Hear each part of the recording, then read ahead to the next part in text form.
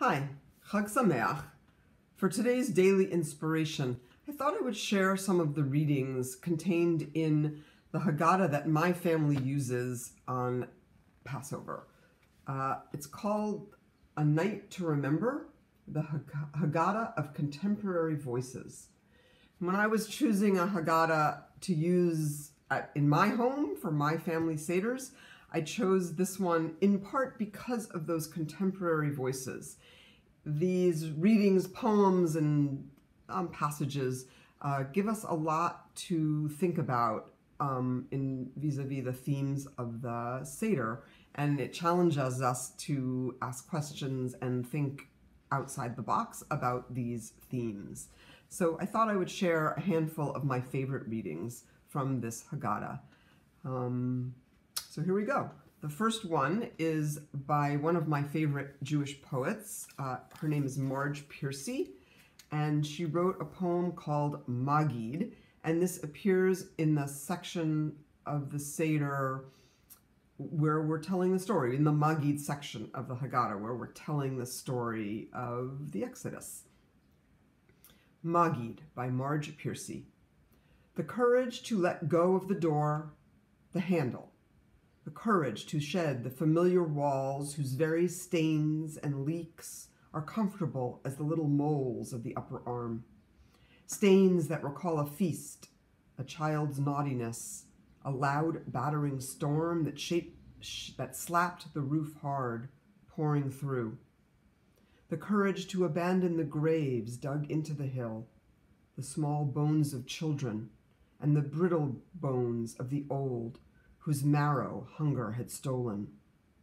The courage to desert the tree planted and only begun to bear. The riverside where promises were shaped. The street where their empty pots were broken.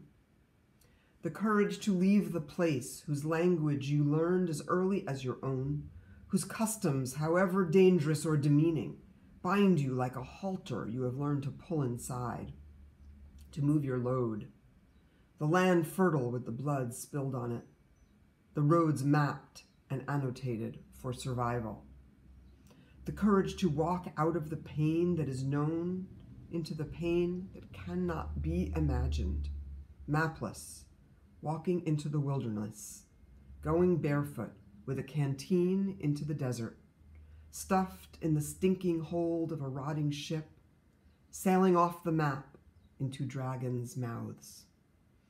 Cathay, India, Siberia, Goldene, Medina, leaving bodies by the way like abandoned treasure.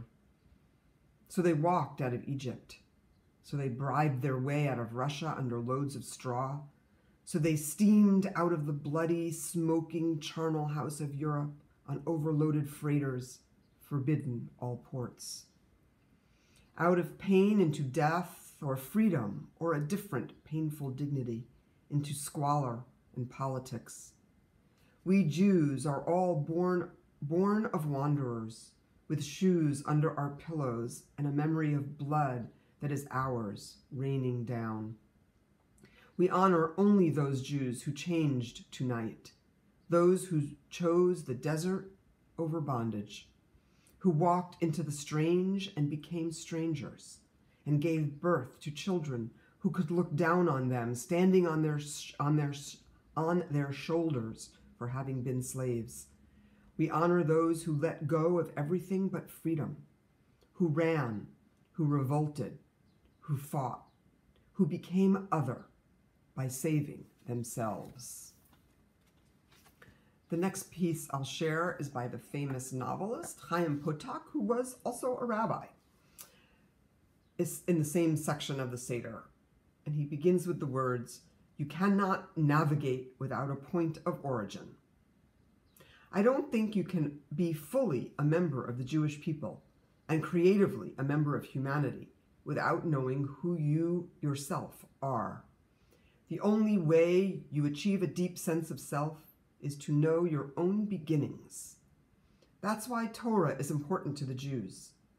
Torah is a Jew's sense of self, the beginning of it, the foundation stones of it. Then you can pick and choose, quarrel with it, discard this, accept that, but at least know where the shoreline is before you begin to row away from it. If you are rowing and there is no shoreline at all, then you're navigating blind, and to navigate blind is to live in dread. The next piece I'll share is by the first Prime Minister of Israel, David Ben Gurion. This is in the halachma section. It's the section where we hold up the matzah and we talk about how this is the bread of affliction. And uh, obviously, Ben Gurion wrote this a while ago, so he makes reference to Jews in Soviet Russia um, before the Soviet Union uh, broke up. So he calls it the Jewish Mayflower. 300 years ago, a ship called the Mayflower set sail to the New World. This was a great event in the history of England. Yet, I wonder if there is one Englishman who knows at what time the ship set sail. do the English know how many people embarked on this voyage? What quality of bread do they eat? Yet, more than 3,300 years ago, before the Mayflower set sail, the Jews left Egypt. Every Jew in the world, even in America or Soviet Russia, knows on exactly what date they left the 15th of the month of Nisan. Everyone knows what kind of bread the Jews ate matzah. Even today, the Jews worldwide eat matzah on the 15th of Nisan. They retell the story of the Exodus and all the troubles Jews have endured since being exiled, saying, This year slaves, next year free. This year here, next year in Jerusalem, in Zion, in Eretz Yisrael. That is the nature of the Jews. And I will continue by sharing a piece by Amos Oz, famous Israeli novelist. And he, this is in the section where we move from talking about slavery to talking about liberation, or especially spiritual liberation. And he calls this Jewish by choice. We should ask ourselves what to do with our historic inheritance. In every generation, Jews have had to make a decision to remain Jewish. The people have survived for thousands of years because millions of Jews over dozens of generations have made personal decisions to uphold their identity. The Torah, the mitzvot, the commandments, the languages spoken, the collective memory, the ways of life, the creative works, all these were sustained first and foremost by the decision that every Jew made privately to stay a Jew and not to leave. Identity has meaning only when it can be abandoned, only when a person is allowed to leave, only when each individual makes the decision freely to keep his or her identity and not to change it. And I will read one more poem by Marge Piercy, and this is in the section of the Haggadah where we get to eat the matzah. And this poem is called Matzah. Flat you are as a doormat and as homely. No crust, no glaze. You lack a cosmetic glow. You break with a snap. You are dry as a twig split from an oak in mid- midwinter.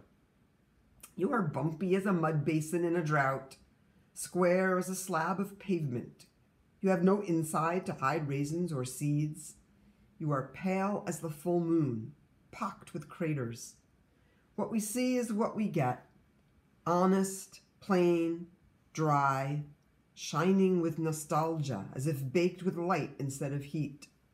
The bread of flight and haste in the mouth, you promise home. And finally, I'll conclude with a passage written by Naamah Kelman she was the first Israeli woman to be ordained a Reform rabbi. Next, this coming Friday night by Zoom, uh, Sally Priesand, who was the first American Reform woman rabbi, um, will speak at, at Temple, so I encourage you to join us for that. Um, but this is uh, as I said, by Rabbi Naamah Kelman, first woman ordained in Israel by the Hebrew Union College. And this is at the end of the Seder when we say the blessing after the meal. She writes, Our mouths will fill with laughter. Being Jewish has taught me how to laugh. First and foremost, to laugh at myself and at my situation. More important, to laugh in order to act in the world. This is not to say we are to make fun of someone or make light of our fate. Rather, one is not to take oneself too seriously, but to take one's responsibilities very seriously. Laughter opens the door to hope and healing. It opens up new possibilities. Listen to what's funny to children, and it will re- reveal a new world and a new generation. The first Jewish child born was called Yitzchak, which means one will laugh. Laughter we pack it in our luggage. We season our Friday night soup with it. Often it is mixed with tears. We fought despair relentlessly. Laughter, laughter is one of our secret weapons. And with that, I wish you a Chag Sameach, a happy Passover, filled with laughter even during these trying times. Stay safe and healthy and wash your hands.